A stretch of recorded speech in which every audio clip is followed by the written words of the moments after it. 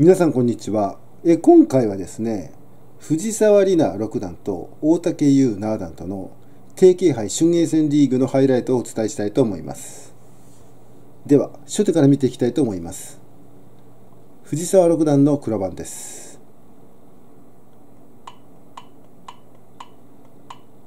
かかってこすんでそして閉まりました。かかってこすんで二間に開きましてでかかって桂馬で受けてそして二間に開きました。でコスミつけて伸びてそして挟みましたね。白がで挟みましてまあ一間飛んでで一間飛んででまあ下跳ね継ぎましたね。はい。非常に地に辛い打ち方ですね。はい。で渡らせてくださいという手です。はい。でこっち詰めましたね。だ手抜いて肩ついてきましたここで。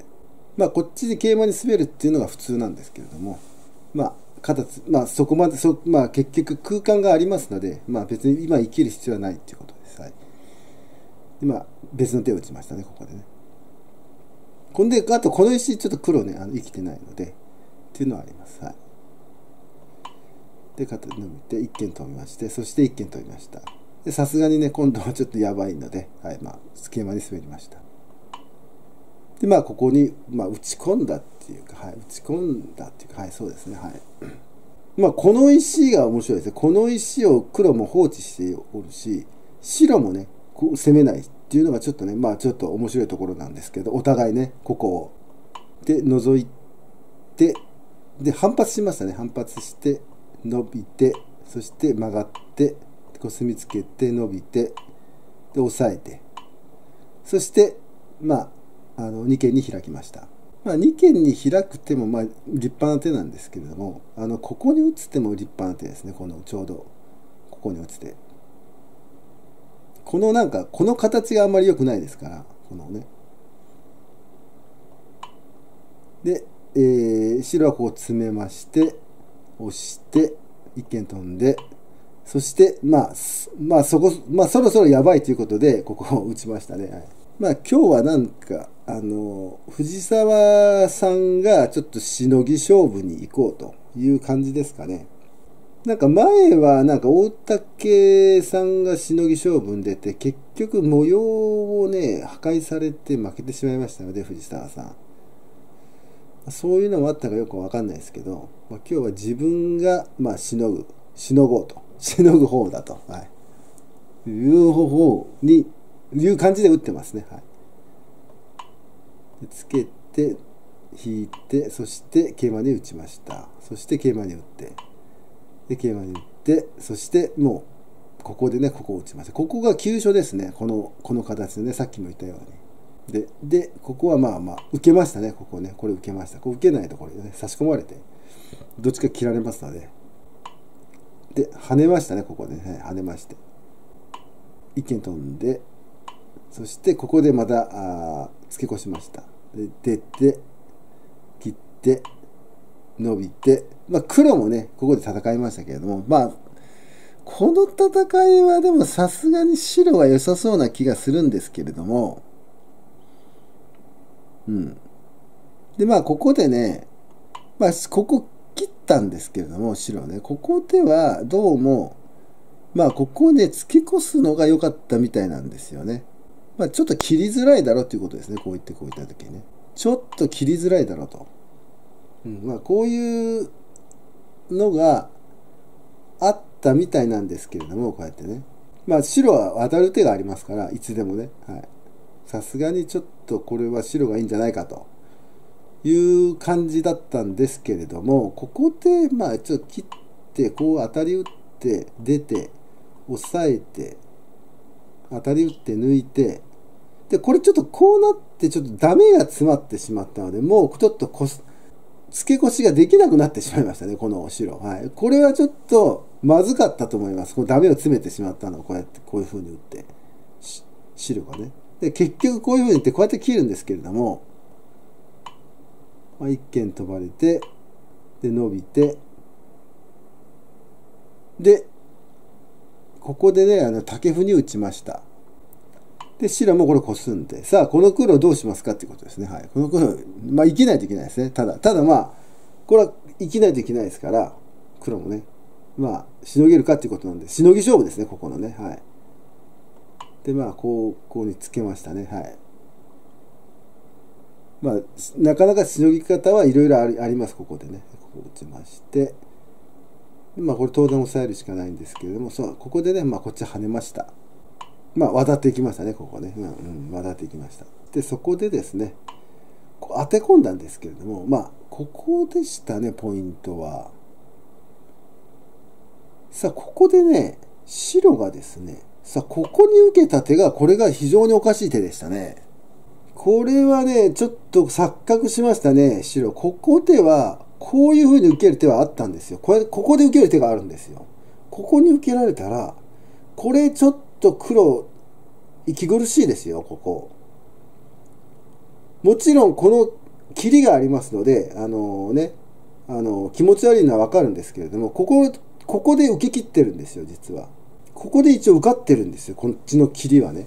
あの切ってからどめてこう下がる手が、ね、あのトントンがあるんです。これで受かってるんですよ。で、ここに打っていれば、この2子もちょっと切り離せてるし、ちょっと目が作りにくかったんですけれども、まあ、ここでここを受けてしまったので、ここに行かれて、これ先手じゃないですか、今。これ先手でここに打ちましたよね。はい。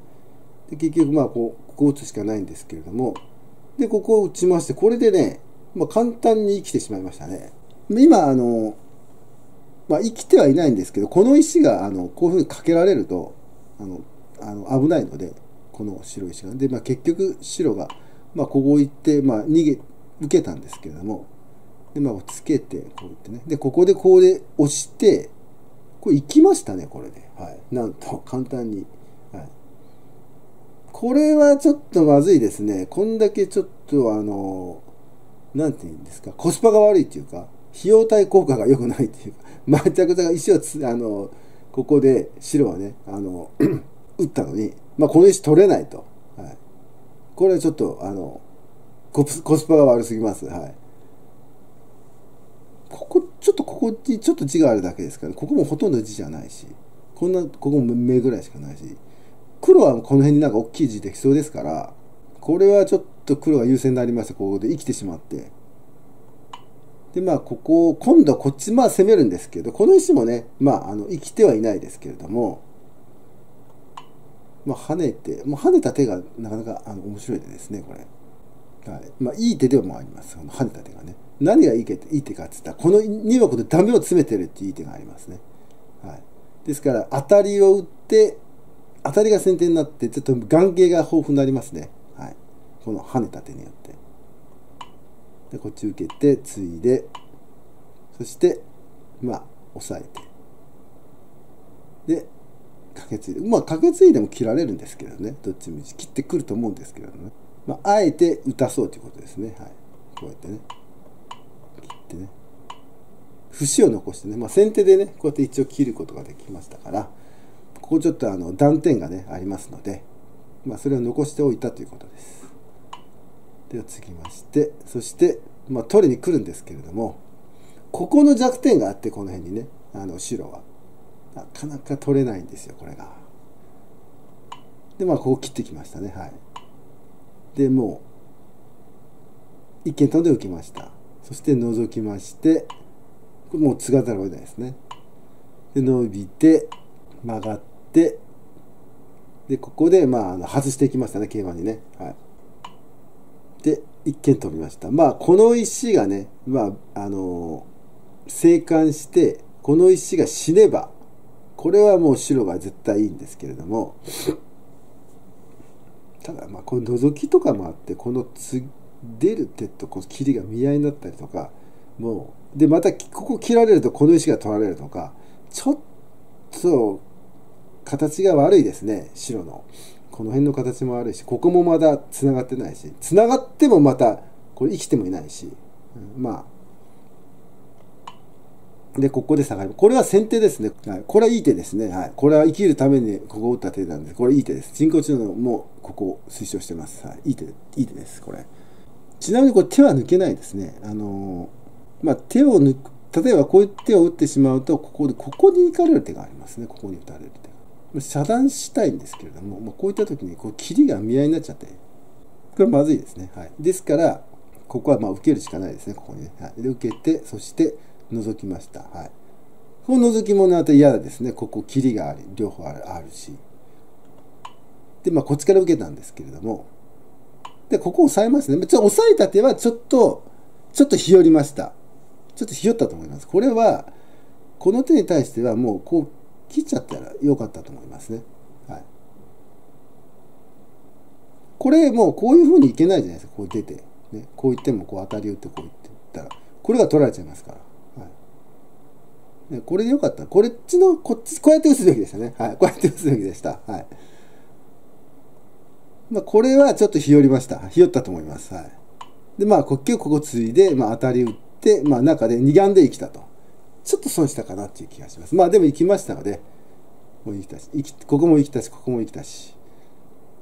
まあ二眼で生きたんだけど、2つとも。まあ、あの、相手の字をなくしてますからね。であと、この石が結局生きてないですから、白は。まあ、いまあ、生きないといけないんですけれども、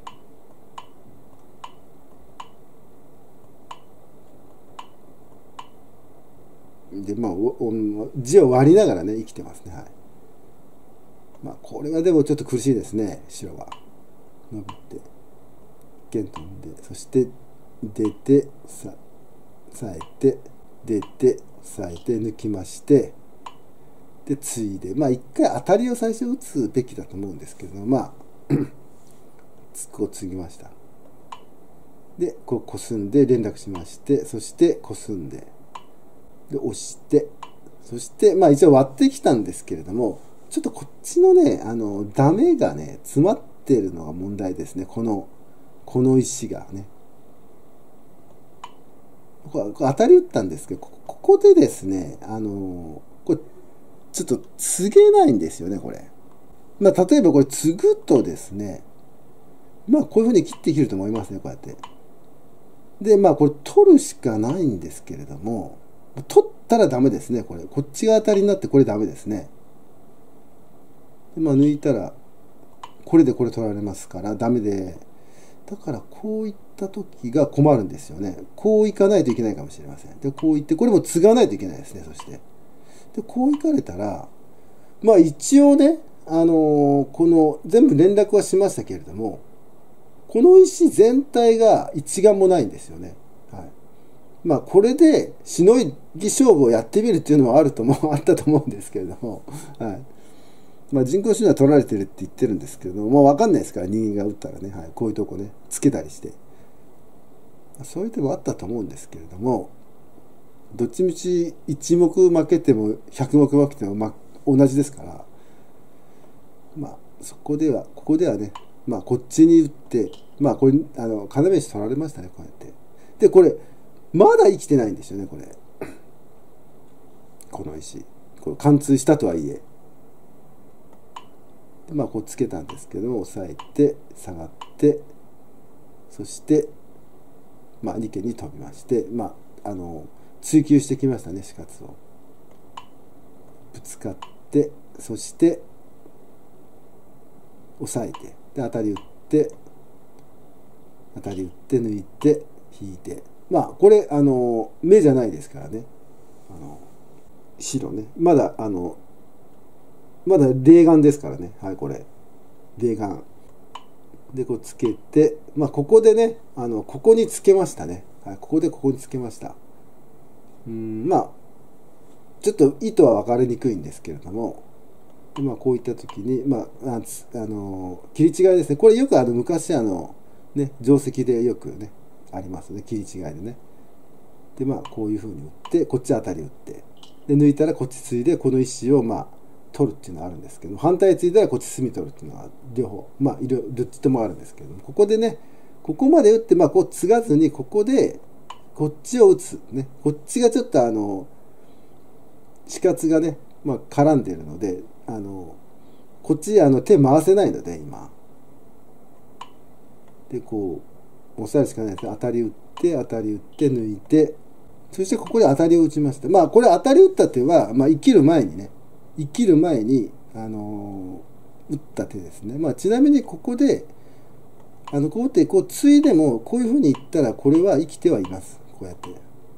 これで生きてはいます、はい、だからあの 生きる前に打ったっていうことです、はい。まあ、打ちました。でここでね、まあ、手を抜いてここをついでここが全部地になりましたね。これでもうだいぶこれでね、あのー、黒がね、あのー、まあ小生になりましたねほぼね。でこの字がちょっとあんまりでかいので、はい、でこの後ねまあ何手か打たれましたけれどもでまあここまで打たれまして白の大竹七段がね投了しました。まあこの碁はまああの危ないし2つあったんですけれども、まあ、まあ2つともしのいでね、うん、しのぎ切って、まあ、勝ったという感じの碁じゃないでしょうかね。はい。会場だったと思います。はい。藤沢六段がね。はい。以上です。